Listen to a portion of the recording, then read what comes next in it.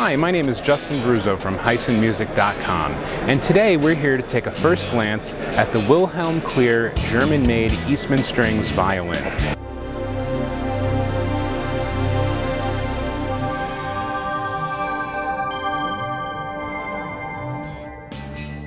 This is a professional model violin. This is the VL702 model this is a full-size violin and it's only available in the full size. And this is also only available in a Guarneri pattern.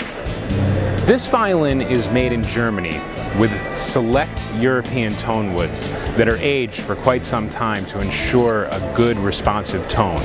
It also features a bass bar which runs down the length of the instrument on the top surface. Uh, and this also helps improve some of the low-end response of the instrument.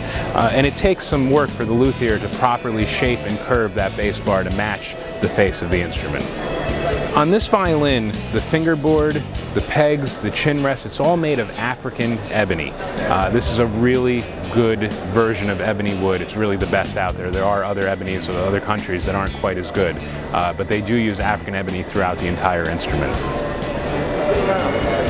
Thank you for watching our video today. I hope you enjoyed it. If you have any questions or if you'd like to place an order, please call us at 877-88-HYSON or visit our website at www.hysonmusic.com. Thanks. Have a great day.